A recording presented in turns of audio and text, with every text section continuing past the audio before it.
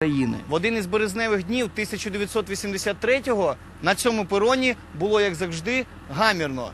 Серед цього шуму незвично багато дитячих голосів. Вихованці палацу їхали у Москву для зйомок на центральному телебаченні. Майже 500 юних ровенчан зайняли декілька вагонів. А для костюмів та інструментів залізничники виділили спеціальний рефрижератор. Тоді це мислилось просто як такий концерт, е, скажімо, провінційного палацу, який в глубінки, яка приїде і ну нікого не здивує, але покаже свою майстерність. Йшла мова про 30 хвилин на телебаченні. І ми вже тоді порахували, це повинно бути ну, десь чоловік 200. Ну, коли ми вже почали е, надавати їм такі творчі, скажімо так, програми, свої варіанти цих творчих програм, кількість ця поступово зросла до 500. Коли ми вже приїхали в Останкіно, то вони подивилися нашу програму, вони були дійсно здивовані і сказали, ну, ви тягнете вже на годину. Дев'ять днів мистецькі колективи палацу провели у Москві. Вони мешкали у готелі на Ленінських горках. Щодня їздили автобусом до Останкіно. Там зранку до вечора працювали на репетиціях та перед телекамерами, як дорослі професіонали. Для дітей це було цікавість велика це все побачити. Ну і видатних на той час співаків. От ми розпівувалися в фоє, якраз зайшов Кобзон і запитав, звідки цей хор.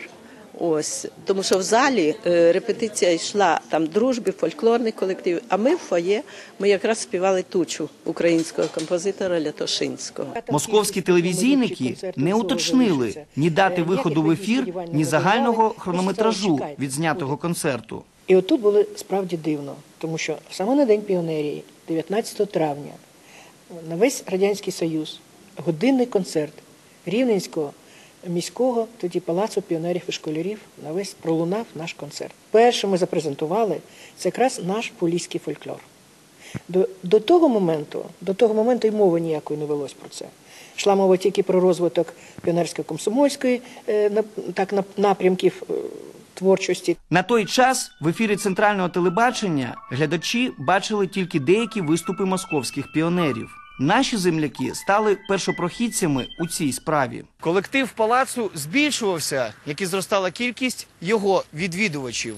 Старе приміщення вже давно не в змозі було помістити всіх бажаючих. Тому у 1985-му для дітей і педагогів відкрилися двері нової будівлі. Ця споруда була частиною великого дитячого комплексу. Перед архітекторами стояло завдання розробити оригінальний проект, не порушуючи цілісності унікальної паркової зони. На той час е, серед таких палаців піонерів це був би, якщо не найкращий, то один з найкращих палаців піонерів там, але на жаль, на жаль, він не реалізувався. Це була велика будова по масштабах нашого міста. Е, напевно, вона не співрозмірна на той час була. Завдяки тому ентузіазму і особливо увазі перших осіб міста, секретарів міському, це Антоненко, потім Луценко. От, а особливо з приходом Віктора Анатолійовича Чайки ця ідея реалізувалася. На жаль, деякі об'єкти комплексу не добудували. Наприкінці 80-х радянська державна машина почала розвалюватися на очах, залишаючи багато незакінчених споруд на призволяще. Попри все, діти отримали великі приміщення, а з ним з'явилося безліч цікавих задумів та нових можливостей. У 1990 році Рівненський палац піонерів перший в Україні стає палацом дітей та молоді. Зміна назви це як наслідок, зміну змісти діяльності. Ми змінили парадигму позашкільної роботи. От, змінили саме зміст діяльності, тобто ми його наситили е, роботою з безпосередньо самою дитиною. Ми взяли е, за основу роботу з всіма категоріями молоді, і з формалами і неформалами. Ми перші повернулися до них обличчям. Ми перші запросили їх до себе. І якраз і продовжили цю роботу, почали ще в тому приміщенні, а продовжили вже тут, при тих можливостях, які ми сьогодні маємо. Наш основний бренд це дитина. От над цим ми і працюємо.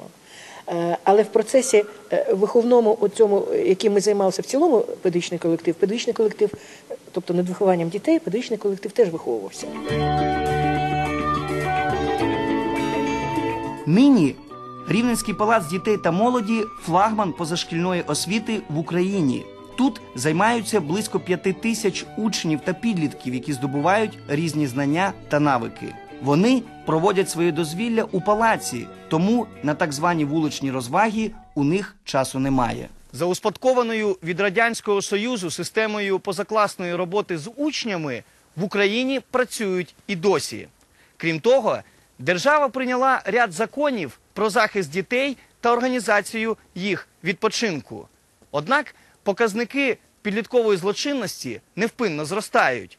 А все тому, що проблеми молоді часто вирішують тільки на папері. Якщо ми справді переймаємось майбутнім нашої держави, то повинні забезпечити гідним дитинством наймолодших її жителів, адже двічі молодим не бути.